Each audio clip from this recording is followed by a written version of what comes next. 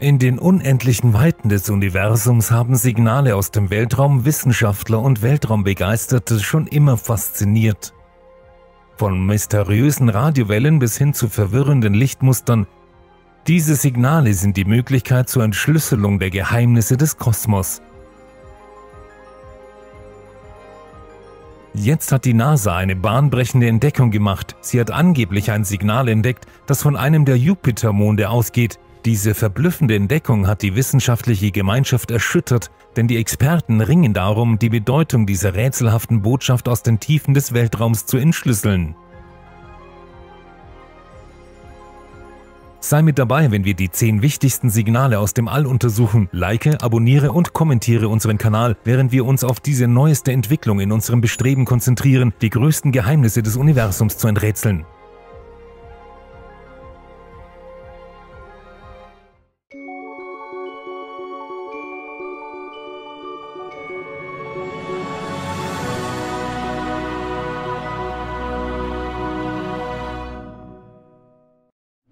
Nummer 1 NASA entdeckt angeblich ein Signal von einem Jupitermond.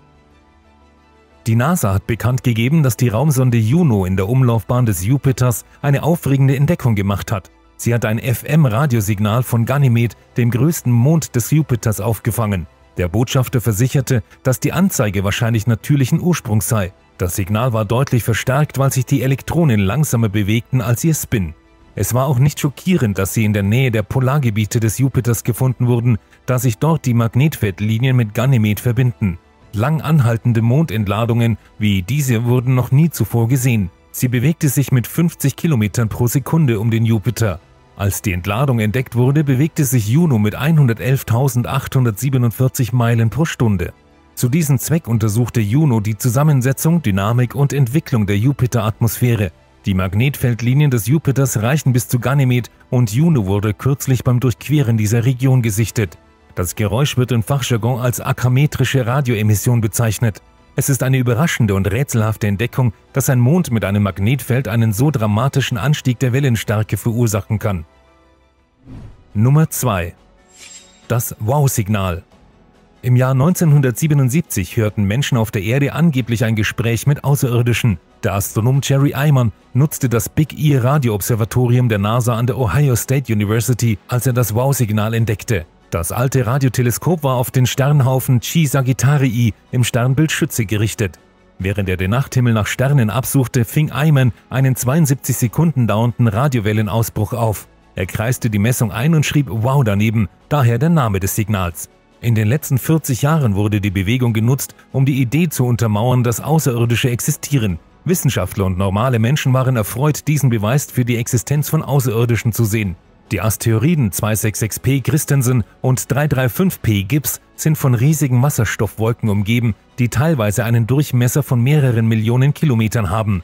Das Wow-Signal wurde auf einer Frequenz von 1420 MHz aufgefangen, bei der Wasserstoff Radiowellen aussendet. Die Besatzung stellte fest, dass das Wow-Signal mit den Funksignalen von 266P Christensen übereinstimmte und dass zum Zeitpunkt des Signals Kometen vorhanden waren.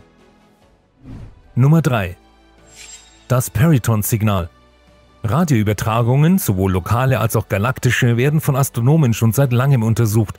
Diejenigen, die in der lokalen Umgebung entstanden sind, werden als Peritons bezeichnet und es wird allgemein angenommen, dass ihre Entstehung mit meteorologischen und terrestrischen Phänomenen zusammenhängt. Während die genaue Ursache von FRBs unbekannt ist, vermuten Forscher seit langem, dass diese Peritons einen irdischen Ursprung haben. Um mehr darüber zu erfahren, richtete das Studienteam einen Echtzeit-Radiointerferenzmonitor am Standort Parks ein und wartete darauf, dass das Teleskop einige Peritons aufzeichnete. Nicht nur das Teleskop konnte im Januar drei Periton-Signale auffangen, sondern auch der Interferenzdetektor, sodass dieses Team nicht lange warten musste. Es gibt Hinweise darauf, dass die Quelle einem Mikrowellenherd sehr ähnlich war, was weitere Untersuchungen rechtfertigt. Jeder zukünftige Standort, der Periton-Signale aufspürt, wird prüfen, ob sie aus einer Küche kommen, auch wenn nicht sicher ist, dass Mikrowellenherde für alle Periton-Empfänge verantwortlich sind. Nummer 4 Das LGM-1-Signal im kalten Winter 1967 entdeckten Radioastronomen in Cambridge ein Signal, das nicht zu den Eigenschaften einer zuvor identifizierten astrophysikalischen Quelle passte. Seine Eigenschaften widersprachen der chaotischen Natur der meisten astronomischen Ereignisse. Die Gruppe diskutierte wochenlang darüber, ob sie aufgrund des künstlichen Aussehens ihrer neu entdeckten Heimat eine außerirdische Gesellschaft entdeckt hatte oder nicht. Wenn so etwas zum ersten Mal auftritt, nennen wir es LGM-1, Little Green Man. Zumindest so lange, bis eine offensichtliche Erklärung gefunden wird. Wie bei Pulsaren kommt die Strahlung dieser Neutronensterne aus entgegengesetzten Richtungen und zeigt an, dass sie sich schnell drehen. Ein kurzes, aber pulsierendes Signal wird immer dann sichtbar, wenn einer dieser Strahlen an der Erde vorbeifliegt. Derzeit sind uns 2651 Pulsare bekannt. Jede Entdeckung ist in chronologischer Reihenfolge einer der blinkenden LEDs der langen, dünnen Tafel zugeordnet. Die Lichtmuster korrespondieren mit der Drehung der supermassereichen Sternüberreste. Manche blinken nur ein- oder zweimal, während der Durchschnitt alle paar Sekunden einmal aufleuchtet. Nummer 5 Die Kepler-Kandidatensignale aus dem All die Kepler-Mission der NASA gab bekannt, dass sie 461 neue mögliche Planeten entdeckt hat. Vier der mutmaßlichen neuen Planeten sind weniger als doppelt so groß wie die Erde.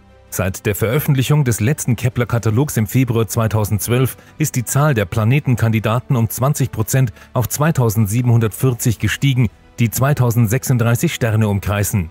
Zuvor wurden 365 Sterne mit zahlreichen Planetenkandidaten gezählt, doch dank dieser Entdeckung sind es nun 467. Es wurde festgestellt, dass 43 Prozent der mutmaßlichen Planeten, die Kepler gefunden hat, bestätigte Begleiter haben. Die hohe Zahl der von Kepler gefundenen Systeme mit mehreren Kandidaten deutet darauf hin, dass ein beträchtlicher Teil der Exoplaneten in flachen Mehrplanetensystemen zu finden ist, sagt Jack Lissauer, Planetenforscher am Ames Research Center der NASA in Moffett Field, Kalifornien. Das Kepler Weltraumobservatorium kann Planeten identifizieren, indem es die Verdunklung oder Aufhellung von mehr als 150.000 Sternen beobachtet, wenn potenzielle Planeten vor ihrem Wirtstern durchlaufen. Drei Durchgänge sind erforderlich, um ein Signal als potenziellen Planeten zu erkennen. Nummer 6 Das Pioneer-Anomalie-Signal vor etwa 30 Jahren bemerkten NASA-Forscher, dass die Raumsonden Pioneer 10 und 11 leicht vom Kurs abzuweichen schienen, als wären sie einem unbekannten Einfluss ausgesetzt. Seit 1998, als die Nachricht von dieser Besonderheit zum ersten Mal unter den Wissenschaftlern zirkulierte, wurde sie erschöpfend bis ins kleinste Detail untersucht, was ihr den Beinamen Pioneer-Anomalie und den heutigen Kultstatus einbrachte. Obwohl sie fast 1000 wissenschaftliche Abhandlungen, unzählige internationale Konferenzen und unzählige wissenschaftliche Arbeiten inspiriert hat, könnte dieses beliebte kosmische Rätsel bald gelöst werden. Die NASA setzte Pioneer 10 im Frühjahr 1972 aus, gefolgt von Pioneer 11 ein Jahr später im Frühjahr 1973. Gemeinsam machten sich die Raumsonden auf den Weg, um den Asteroidengürtel Jupiter, Saturn für Pioneer 11 und die Monde dieser Planeten zu untersuchen. Die Sonden machten die ersten Nahaufnahmen von Jupiters rotem Fleck und Saturns Ringen und maßen im Vorbeiflug bisher unbekannte Eigenschaften der Atmosphären und Oberflächen der Planeten. Nachdem die Vorbeiflüge Mitte der 1970er Jahre abgeschlossen waren, machten die Pioneer-Sonden weiter. Sie waren die ersten von Menschenhand geschaffenen Objekte, die das Sonnensystem verließen und in die unvorstellbare Kälte und Dunkelheit des interstellaren Raums vordrangen. Nummer 7 die Signale der verschwindenden Sterne. Die Existenz der GCRTs wurde lange Zeit geheim gehalten, da jedes GCRT einzigartig ist und nicht bekannt ist, welche Art von Stern ein solches Signal erzeugen würde, haben Astronomen festgestellt, dass die vier GCRTs nicht von derselben Quelle stammen. Ein neuer Befund ergänzt den gesamten Wissensbestand, der entweder bestätigt, was Astrologen bereits wissen, oder ihn ergänzt. Der Befund könnte auch zu revolutionären neuen Erkenntnissen führen. Wir können nicht mit Sicherheit sagen, ob diese Gegenstände von dieser Art sind. Zahlreiche Fragen zu ihnen sind noch unbeantwortet. In den 1990er Jahren begannen Teleskope, das Zentrum der Milchstraße bei extrem niedrigen Radiofrequenzen zu verfolgen. Sie lieferten jedoch erst Anfang der 2000er Jahre Ergebnisse, als Hymans Forschungsteam die Datenarchive eines solchen Niederfrequenzradioteleskops durchkämmte. Dabei stießen sie auf das seltsame Signal, das kurzzeitig vom galaktischen Zentrum ausging. Die Stärke des Signals nahm über einige Monate hinweg zu, bevor es schließlich zu verblassen begann. Im Gegensatz zu vielen anderen vorübergehenden Radiosignalen konnte dieses Signal bei Röntgenuntersuchungen nicht nachgewiesen werden. Doch keine dieser Untersuchungen ist sehr zufriedenstellend, so der Autor, weshalb der Wissenschaftler weiterhin über die GCRTs nachdenken und neue Theorien entwickeln.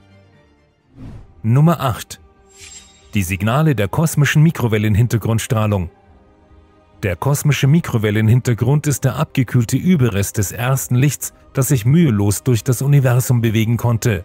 Sie interpretieren ihn als ein Nachbeben des Urknalls. Mit der Zeit ist dieses ursprüngliche Licht gedämpft und so schwach geworden, dass es nur noch im Mikrowellenbereich sichtbar ist. Die Planck-Mission der ESA wird dieses erste Licht identifizieren, das auch die älteste nachweisbare Strahlung ist und Hinweise auf unsere Vergangenheit und Zukunft enthält. Erst 1965 wurde die Existenz der CMB-Strahlung entdeckt. Mit ihrem Radioteleskop entdeckten die amerikanischen Wissenschaftler Penzias und Wilson ein Signal am Himmel, das sie nicht identifizieren konnten. Sie kamen zu dem Schluss, dass das Rauschen irgendwo aus der Milchstraße stammen konnte. Es schien irgendwo in der Nähe des Urknalls entstanden zu sein. Die wissenschaftliche Gemeinschaft wertete die Ergebnisse als Beweis für die Urknalltheorie nach dieser Theorie wäre die Schockwelle des Urknalls selbst weit entfernt von Galaxien, Quasaren und Galaxienhaufen als schwache Tapete sichtbar, die von überall her strahlt. Die Urknalltheorie ist die einzige brauchbare Erklärung für die beobachteten Eigenschaften des CMB. Nummer 9 Das Signal der Fast Radio Bursts FRBs Niemand schenkte einer kurzen Detonation Beachtung, die 2001 von einem australischen Radioteleskop jenseits der Milchstraße aufgefangen wurde. Ein schneller Radioburst FRB, um den es sich bei dem starken Flare handelte, wurde über fünf Jahre lang nicht entdeckt. Professor Duncan Lorimer vom Institut für Astronomie der Universität West Virginia schätzt, dass die Detonation in einem Sekundenbruchteil so viel Energie erzeugte wie die Sonne in einem ganzen Monat. Die Erforschung dieser Explosionen, von denen sich täglich mindestens 800 am Himmel ereignen, ist in letzter Zeit zu einem der aktivsten Bereiche der Astrophysik geworden. Obwohl unser Wissen über FRBs noch begrenzt ist, haben wir im vergangenen Jahr große Fortschritte gemacht. Trotzdem haben die Entdeckungen neue Fragen aufgeworfen, während die Experten auf dieser Reise fortgeschritten sind. Unser Wissen über FRBs hat sich vor kurzem grundlegend geändert. Es hat sich herausgestellt, dass das intensive Licht, das ein FRB auf seiner Reise zur Erde aussendet, eine Aufzeichnung der intergalaktischen Tiefen enthält, die er durchquert hat und damit Einblicke in die Natur der Galaxien und des Mediums zwischen ihnen gewährt, die auf keine andere Weise gewonnen werden können. Nummer 10 Die Gammastrahlenausbrüche Satelliten in der Erdumlaufbahn haben kurze Ausbrüche der energiereichsten Gammastrahlung, sogenannte Gammastrahlenausbrüche GRBs, beobachtet, die Millisekunden bis Hunderte von Sekunden dauern. Diese Supernovae treten in fernen Galaxien auf, die Milliarden von Lichtjahren von der Erde entfernt sind. Bei der Kollision zweier Neutronensterne kommt es zu einer kurzzeitigen Gammastrahlungsexplosion. Ganz am Ende ihres Lebens senden diese ultradichten Sterne Gravitationswellen aus, bevor sie in Gammastrahlen explodieren. Obwohl bisher allgemein angenommen wurde, dass neu entstandene schwarze Löcher Gammastrahlenausbrüche verursachen, hat eine neue Studie eines internationalen Teams von Astrophysikern Zweifel an dieser Vorstellung geweckt. Es wurde festgestellt, dass die Entstehung eines supermassiven Sterns und nicht eines schwarzen Lochs die Ursache für einige kurzzeitige GRBs ist. Die Forscher können sich nicht zwischen zwei möglichen Theorien entscheiden. Erstens, ein extrem massereicher Neutronenstern entsteht, wenn zwei Neutronensterne kurzzeitig verschmelzen.